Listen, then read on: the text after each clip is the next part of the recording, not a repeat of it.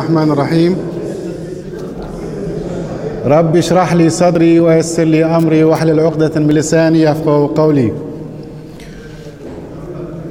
Heute geht es weiter, inshallah, mit der sechsten Säule des Imans.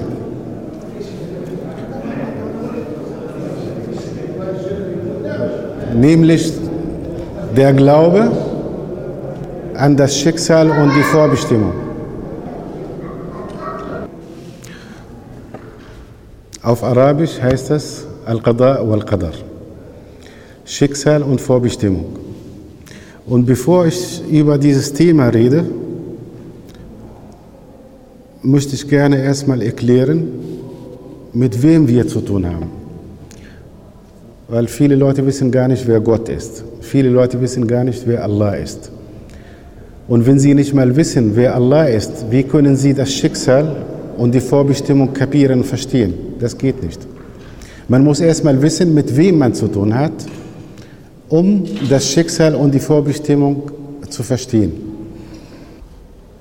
Ein Lehrer sagte in der Schule, seht ihr mich zu deinen Schülern? Die haben gesagt, ja. Seht ihr die Tafel? Dann haben sie gesagt, ja. Dann hat er gefragt, seht ihr Gott? Sie sagte nein. Dann, dann sagte er, es gibt keinen Gott. Ein Schüler ist aufgestanden und hat dem Lehrer gefragt, siehst du mich? Der Lehrer hat geantwortet, ja. Siehst du die Tafel oder siehst du die Tafel? Der Lehrer hat geantwortet, ja. Dann hat der Schüler seinen Mitschülern gefragt, seht ihr den Verstand von dem Lehrer? Sie haben gesagt, nein. Dann sagt er, der Lehrer hat keinen Verstand. Nicht alles, was wir nicht sehen, existiert nicht. Sauerstoff sehen wir nicht, aber ohne Sauerstoff können wir nicht leben. Die Erderziehungskraft sehen wir nicht, aber die existiert, die spüren wir. Und Allah, der Schöpfer von dem ganzen Universum, hat seine Unterschrift überall in seiner Schöpfung. Genauso wie die Menschen ein Mercedes erkennen, dass es ein Mercedes ist. Jeder, der Verstand und gesundes Herz hat, erkennt seinen Schöpfer automatisch. Aber die Menschen, die den allmächtigen Gott leugnen, sie leugnen den allmächtigen Gott, weil sie einfach nicht bereit sind zu denken. Und dank dem Christentum sind viele Menschen ungläubig geworden und viele Menschen sind Atheisten geworden. Jetzt, bevor wir das Schicksal und die Vorbestimmung definieren, wir müssen erstmal wissen, mit wem wir zu tun haben. Wer ist Gott? Wer ist Allah? Allah sagt im Koran,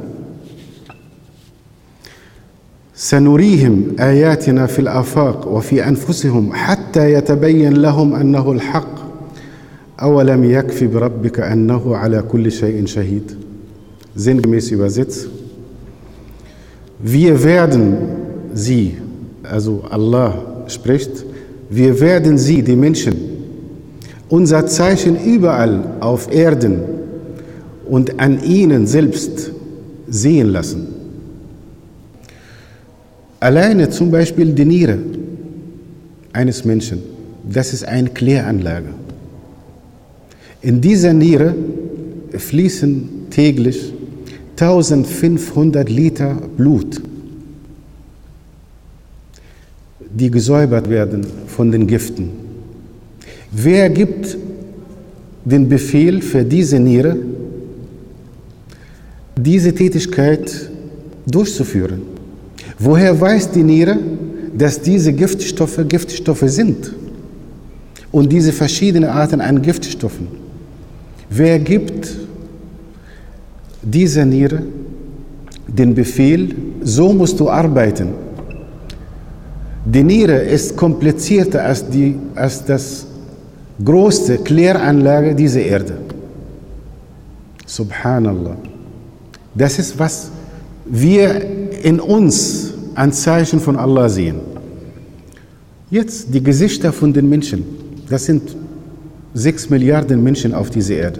Kein Gesicht ist hundertprozentig identisch mit dem anderen Gesicht eines anderen Menschen. Die Fingerdrücke von jedem von uns sind unterschiedlich. Und das sind sechs Milliarden an Menschen. Hautfarben, genau das Gleiche. Du kannst immer die, die Zwillinge voneinander unterscheiden. Sauerstoffgehalt in der Luft ist 21 Prozent. Und die Wissenschaftler sagen, wenn das 20 Prozent wäre, wird die Erde den Inhalt von diesem Sauerstoff absaugen und wir werden aussterben. Wenn das 22 Prozent wäre, wird, eine, wird nur Verbrennung auf dieser Erde geben. Wer lässt das nur 21 Prozent? Jetzt, was sehen wir in unserer Umgebung? Was sehen wir in, in unserem Universum? Die Erde hat einen Durchmesser von 12.000, ca. 12.000 Kilometer. Die Sonne ist 142 Millionen Kilometer von uns entfernt. Die Wissenschaftler sagen, wenn die Sonne 10 Meter runterkommen würde, werden wir alle verbrannt. Wenn die Sonne 10 Meter höher wäre, wird alles auf dieser Erde frieren. Das sind 10 Meter. Und wir fliegen mit dem Flugzeug 10.000 Meter Richtung die Sonne und wir werden nicht verbrannt werden. Nur damit wir wissen, mit wem wir zu tun haben. Das sind Gesetze, die die Menschheit nicht kennt. Die Sonne ist 103 Mal größer als die Erde. Die Milchstraße, diese Straße, die das Sonnensystem enthält, enthält nicht nur die Sonne und die Erde, sondern auch noch neun Planeten dazu. Was noch dazu kommt, das sind zwei Milliarden Asteroiden, enthält diese Milchstraße. Und die Wissenschaftler sagen,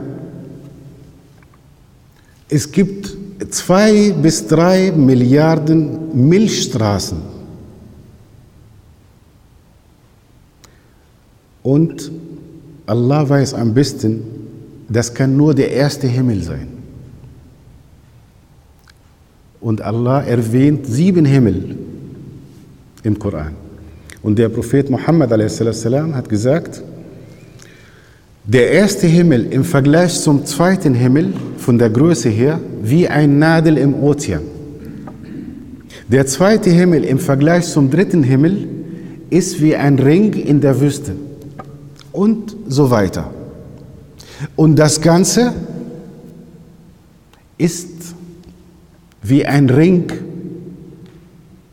im Vergleich zum Thron des allmächtigen Gottes. Nochmal. Der erste Himmel ist im Vergleich zum zweiten Himmel von der Größe wie ein Nadel im Ozean. Der zweite Himmel im Vergleich zum dritten Himmel ist wie ein Ring in der Wüste und so weiter bis zum siebten Himmel. Das Ganze hat die Größe wie ein Ring in Majestät Allahs, in seinem Thron oder im Vergleich zu seinem Thron. Das ist Allah, mit dem wir zu tun haben. Das ist unser Schöpfer, der die Himmel und die Erde erschaffen hat, der uns jede Sekunde versorgt, der sechs Milliarden Menschen gleichzeitig sieht, versorgt ihre Bittgebete erhört und sie bewahrt oder sie sterben lässt, das sind nicht nur die Menschen.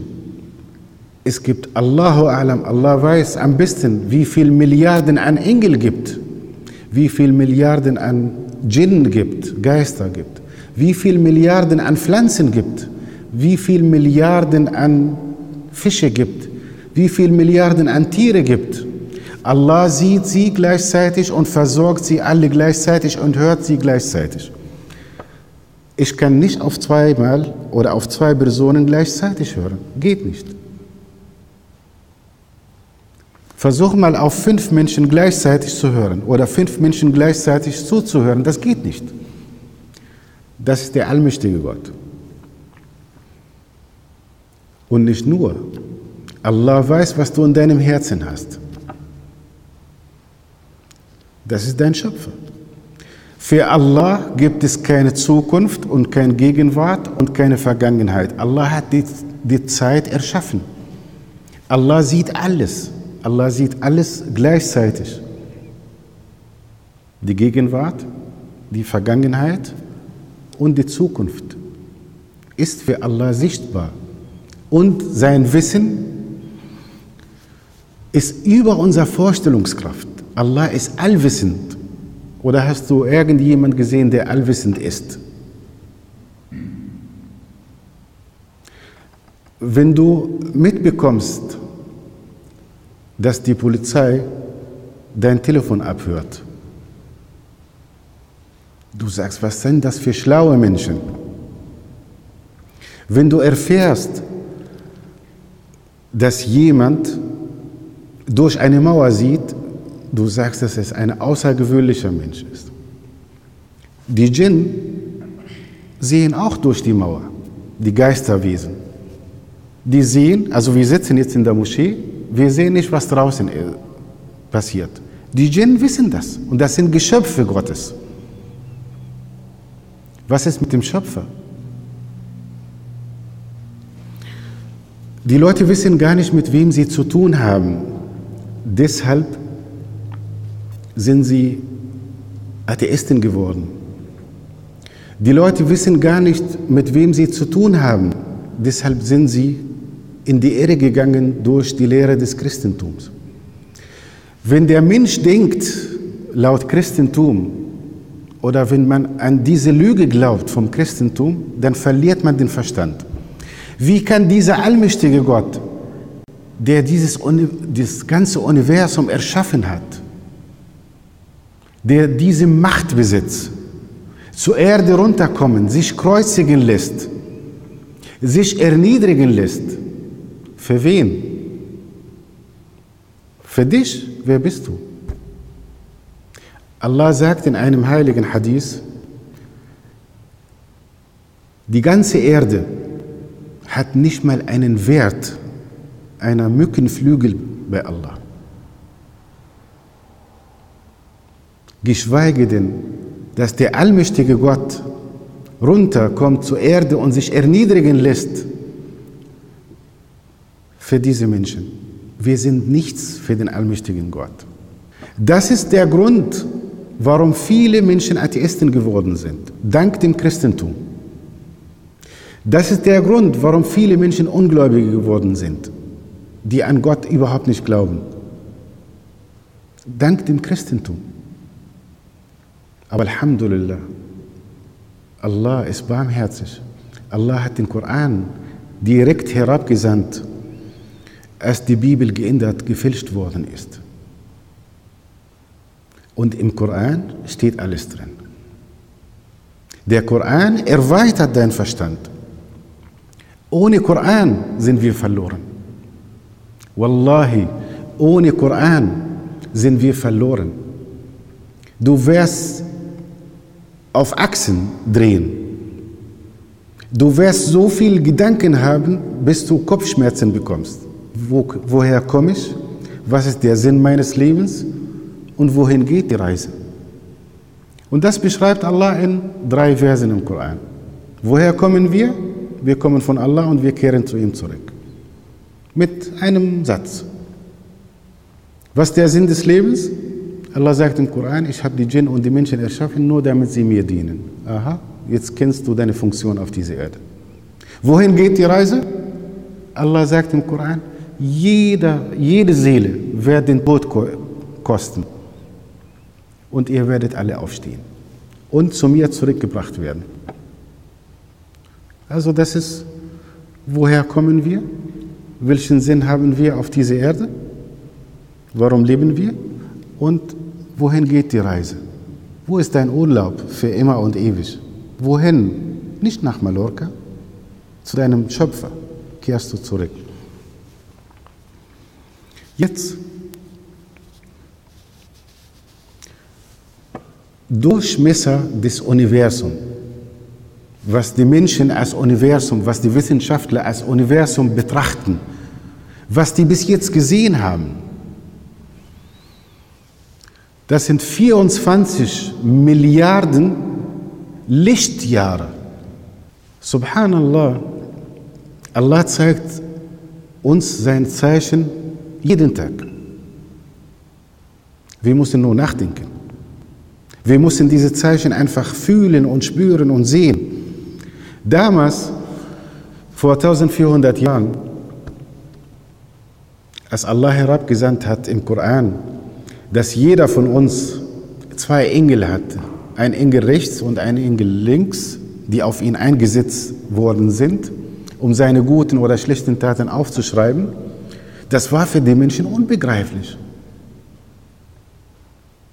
Aber jetzt durch den Computer begreift jedes Kind, dass das eine Tatsache ist. Der Computer macht Millionen an Rechenaufgaben innerhalb einer Sekunde. Das sind Zeichen von Allah. Das Wissen ist immer gegeben, aber Allah lässt Wissen frei. Mit der Zeit, Allah lässt Wissen frei. Guck mal, Google zum Beispiel. Suchst du nach irgendeinem Produkt, bekommst du die Produkte weltweit in Sekunden. Das sind Zeichen von Allah. Allah hat dieses Wissen freigegeben für dich, damit du deinen Schöpfer erkennst, damit du Allah erkennst und damit du Allah dienst und damit du Allahs Richtleitung folgst. Jetzt, wenn man das Universum betrachtet, ab 200 Kilometer herrscht Dunkelheit. Du siehst deinen Finger nicht. Wenn man jetzt mit einem Flugzeug oder mit einer Rakete 200 Kilometer in die Luft fliegt, nach oben fliegt, herrscht Dunkelheit. Und wir wissen, wir wissen, dass die Strahlen der Sonne normalerweise laut physikalischen Gesetzen durchdringen müssen, durch diese Dunkelheit. Aber das ist totale Dunkelheit, totale Finsternisse. Das sind Gesetze des allmächtigen Gottes. Im Meer, wenn man 1000 Meter taucht, sieht man seinen Finger nicht. Herrscht auch totale Finsternisse. Und die Fische haben Licht von Allah bekommen, dass sie vorne sehen können, dass sie vor ihren Augen sehen können. Ja? Subhanallah. Jetzt, welche Dimension hast du in dieser Moschee? Vielleicht ein Prozent? Welche, Moschee, welche Dimension hat die Moschee in Mörs? Vielleicht ein Prozent. Welche Dimension hat Mörs in Deutschland? Oder im Vergleich zu Deutschland? Vielleicht ein Prozent. Welche Dimension hat die Erde im Vergleich oder im Universum? Ist wie ein Sandkorn am Strand, am Meer.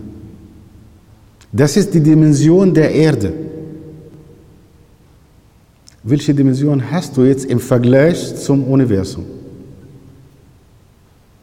Und Allah ehrt dich. Wenn du betest, Allah guckt in die Augen.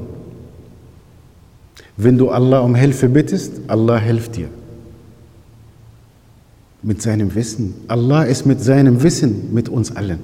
Das ist die Barmherzigkeit und das ist die Gnade.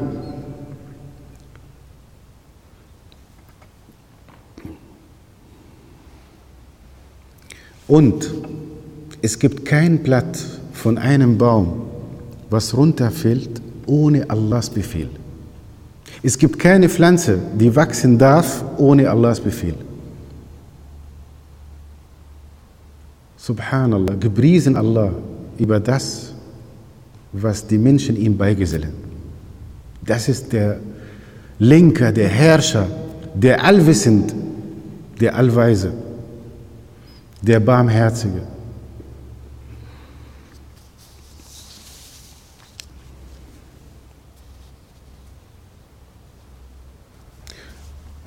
Wisst ihr, wie viele Geschöpfe Gottes auf diese Erde gibt? Zwei Millionen unterschiedliche Geschöpfarten gibt es. Die Menschen ist nur eine Geschöpf, Geschöpfart. Zwei Millionen Geschöpfarten. Es gibt vieles, was wir nicht sehen, zum Beispiel. Und Allah versorgt sie alle gleichzeitig. Allah sieht sie alle gleichzeitig. Das ist mein Gott. Das ist mein Schöpfer, den ich fürchte und ich liebe. Jetzt kommen wir zu unserem Thema zurück.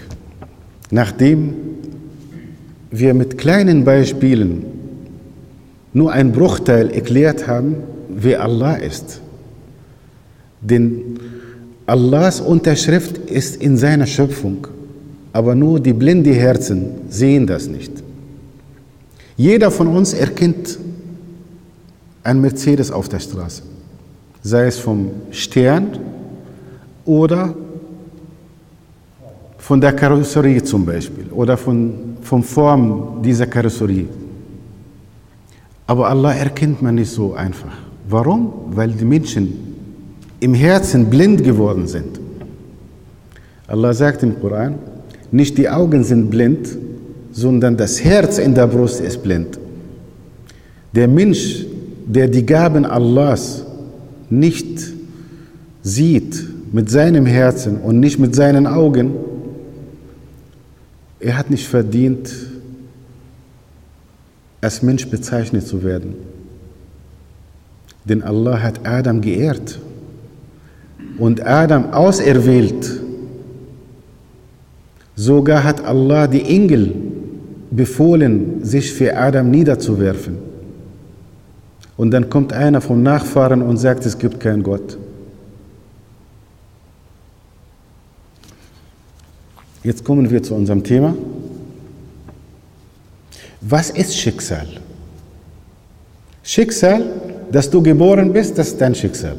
Dass du hier sitzt, das ist dein Schicksal. Dass du hübsch aussiehst, das ist auch dein Schicksal. Alles, was mit dir geschah, ist dein Schicksal. Das ist Al-Qada. Jetzt kommen wir zu der Definition von Al-Qadar, die Vorbestimmung. Also die Vorbestimmung besteht aus drei Kategorien. Die erste Kategorie ist, dass du geboren bist, dass du deine Versorgung bekommst, dass du ein bestimmtes Maß an Intelligenz hast oder bekommen hast, Geschenk von deinem Schöpfer. Wo du stirbst und wann du stirbst, das hat Allah schon vorgeschrieben, du hast keinen Einfluss drauf. Das ist schon vorgeschrieben. Die zweite Kategorie ist, für das, was Allah für dich vorgeschrieben hat, musst du was tun, um das zu bekommen, was Allah für dich vorgeschrieben hat. Du musst aufstehen, nach Arbeit suchen, damit du die Arbeit bekommst, die Allah für dich vorgeschrieben hat. Die dritte Kategorie, die Richtleitung. Die Vorbestimmung in dieser Hinsicht ist keine Sache, die, die mit der Ungerechtigkeit zu tun hat. Die hat mit der Gerechtigkeit zu tun. Allah hat dir einen Verstand gegeben und hat dir eine Richtleitung geschickt. Wenn du diese Richtleitung folgst, wirst du belohnt werden. Wenn du diese Richtleitung nicht folgst, wirst du bestraft werden. Jetzt ein Beweis dafür, weil viele Menschen sagen, hätte Allah gewollt, wären wir nicht Christen oder nicht Juden. Die Götzendiener werden sagen, hätte Allah es gewollt, so hätten weder wir noch unser Väter Allah etwas beigesellt. Hätten, nochmal. Die Götzendiener werden sagen, also die Götzendiener sagen jetzt, jetzt, hätte Allah es gewollt, so hätten weder wir noch unser Väter Allah etwas beigesellt.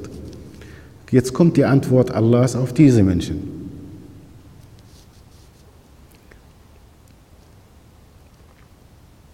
Genauso lügten schon jene, die vor ihnen waren. Das sind Lügner. Allah hat dir freie Willen gegeben.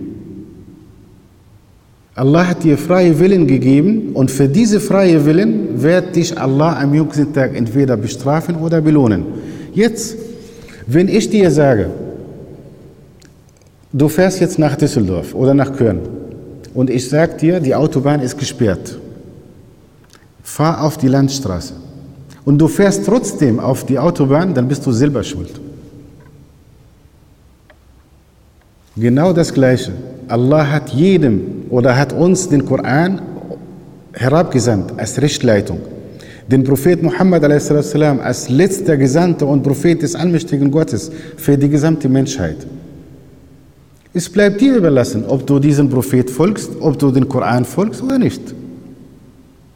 Wer hat, euch, wer hat euch gezwungen, hier zu sitzen? Keiner. Allah hat uns freie Willen gegeben und dafür wird Allah uns zur Rechenschaft ziehen. Das wäre Ungerechtigkeit, wenn Allah uns zwingt, etwas zu tun und danach am jüngsten Tag dafür bestrafen werden.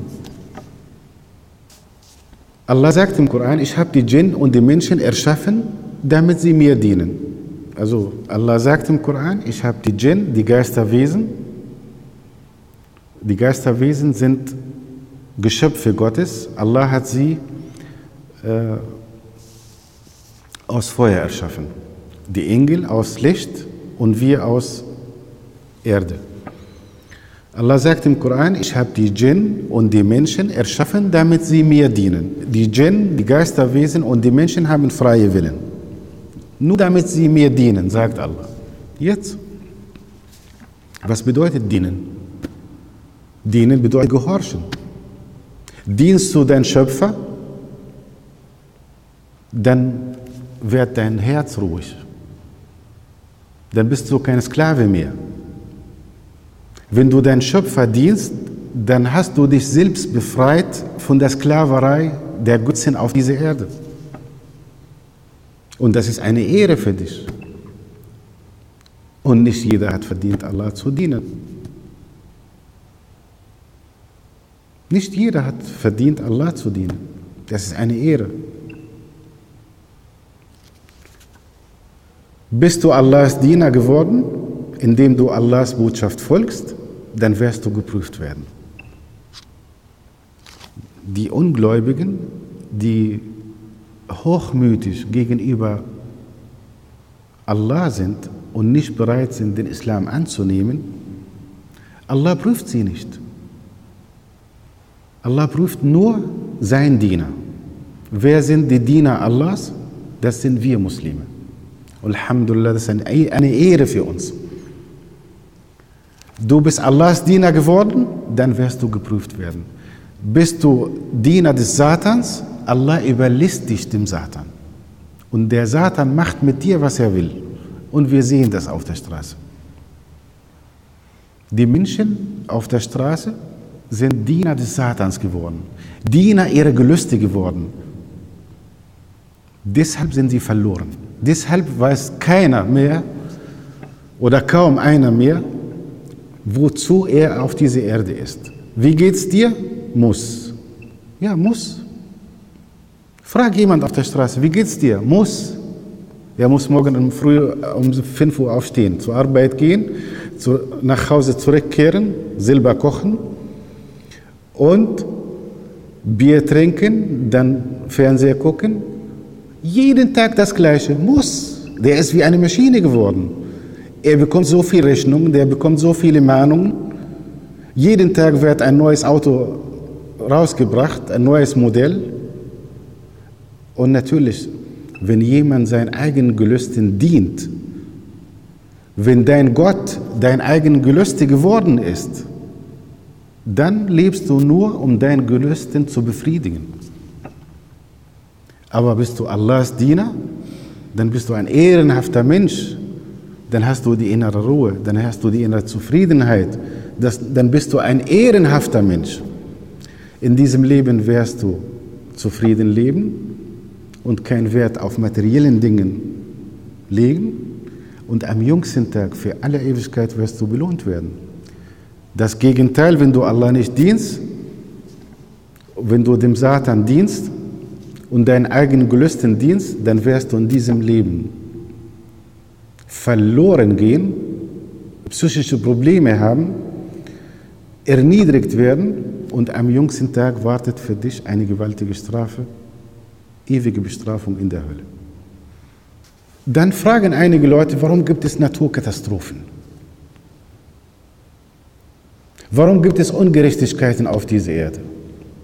Erstmal, warum gibt es Ungerechtigkeit auf dieser Erde?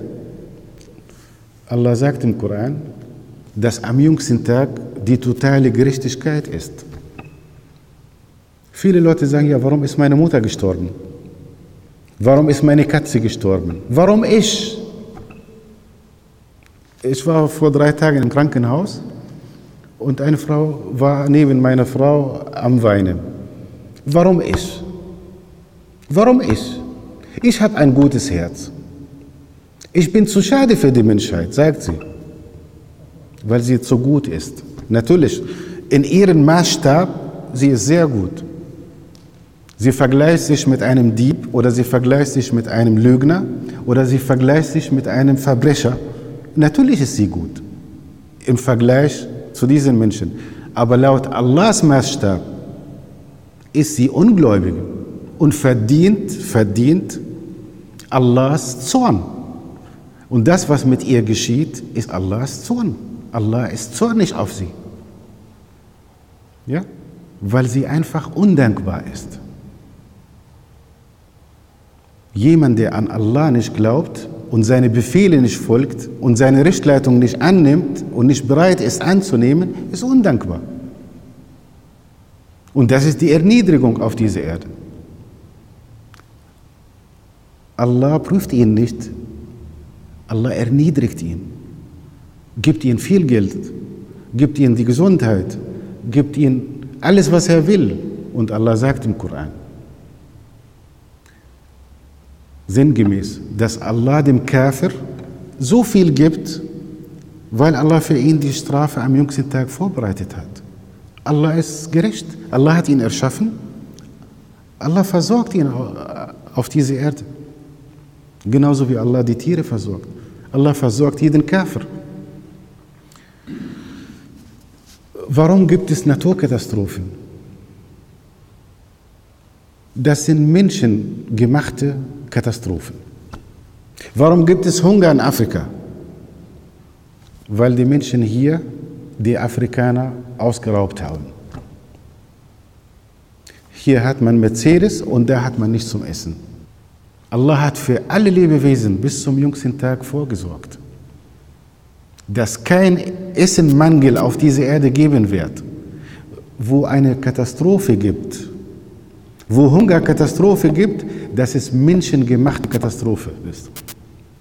Hier ist Ausbeutung, die Menschen werden dort ausgebeutelt, damit die Menschen hier in Europa oder in Amerika gut leben können, äh, Plasma-Fernsehgeräte kaufen können, Luxus haben und ihr seht die Strafe Allahs auf diese Menschen jetzt. Alle Wirtschaftssysteme klampen zusammen jetzt. Ein Crash, das ist die Strafe Allahs. Warum? Weil diese Menschen Milliarden von Menschen ausgebeutet haben, Milliarden von Menschen ausgeraubt haben, damit sie hier Luxus haben. Jetzt kommt die Strafe Allahs. Und Allah sagt im Koran,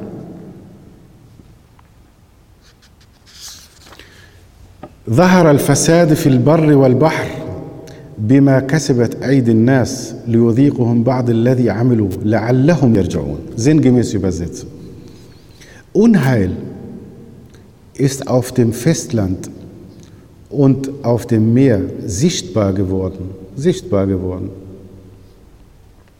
um dessen Willen was die Hände der Menschen gewirkt haben ja, also einige Muslime zum Beispiel sagen, wir machen so viel Bittgebete und unsere Bittgebete werden nicht erhöht. Warum? Dann musst du bei dir suchen. Entweder, das sind drei, drei Faktoren. Nummer eins, du musst bei dir suchen, dass du vielleicht Riba nimmst, dass du Zinsen verzehrt hast. Wenn du Zinsen verzehrt hast, Allah erhöht deine Bittgebete nicht. Wenn du den Islam nicht richtig praktizierst, Allah erhöht dein Bittgebete auch nicht. Jetzt Nummer zwei. Es kann sein, dass dein Bittgebet für dich Schaden bringen wird. Zum Beispiel, du möchtest gerne ein, ein Auto kaufen und du bittest Allah darum. Und Allah weiß, dass du in diesem Auto einen Unfall bauen wirst. Deshalb erfüllt Allah dein Bittgebet nicht. Nummer drei, und das ist sehr, sehr wichtig, viele Muslime, die ganz weit weg von der Religion sind, die bekommen von Allah Versorgung, die sind reich, die beten nicht, sie fasten nicht, sie praktizieren diese Religion nicht. Und die sagen auch, unsere Bittgebete werden erhört, wir sind auf dem geraden Weg. Wir haben ein gutes Herz. Ja? Das ist Fluch Allah auf diese Menschen. Die müssen aufpassen. Wenn du Allah nicht richtig dienst, wenn du den Islam nicht richtig praktizierst und Allah gibt dir, dann bist du für Allah wie ein Kafir, den Allah auch jeden Tag weitergibt. Allah gibt dem Kafir jeden Tag versorgt ihn, gibt ihm, was er will, damit er in Sünden wächst, damit seine Strafe am jüngsten Tag gewaltig wird. Und wenn du ein Muslim bist, der ganz weit weg von der Religion ist, der nicht betet, nicht fastet, den Islam nicht richtig praktiziert, und Allah hat dir gegeben und Allah gibt dir ein Vermögen, da musst du richtig Angst haben. Das, hat, das heißt, das bedeutet, Allah hat mit dir nichts Gutes vor. Allah hat für dich, Allahu A'lam, die Hölle für alle Ewigkeit vorbereitet. Dann musst du Angst haben. Weil viele Leute sagen, wir haben ein gutes Herz. Natürlich hast du ein gutes Herz von Allah bekommen, aber du hast dein Herz versaut. Wir sehen ein Baby. Wie sieht ein Baby aus? Wir sagen, das sieht wie ein Engel aus. Schuldlos. Sieht, MashaAllah, wunderbar aus. Harmlos. Allah hat jedem von uns dieses Herz gegeben. Saubere Herz. Aber du hast dein Herz mit der Zeit versaut. Allah hat dir sowieso ein gutes Herz gegeben. Du hast dein Herz versaut. Natürlich, du vergleichst dich mit einem Dieb, du vergleichst dich mit einem Lügner und so weiter. Du siehst in deiner Umgebung, alle Menschen sind ungläubig. Natürlich im Vergleich zu diesen Menschen, wenn du namentlich Muslim bist, bist du vielleicht besser. Aber du musst den Maßstab von Allah nehmen. Allah hat uns befohlen, fünfmal am Tag zu beten, einen Monat Ramadan zu fasten, kein Zinsen zu nehmen, Bilgafahrt zu verrichten, zu spenden und so weiter. Tust du das nicht und Allah versorgt dich, da musst du Angst haben. Allah gibt dir mehr Geld, mehr Macht, mehr Reichtum, da musst du richtig Angst haben.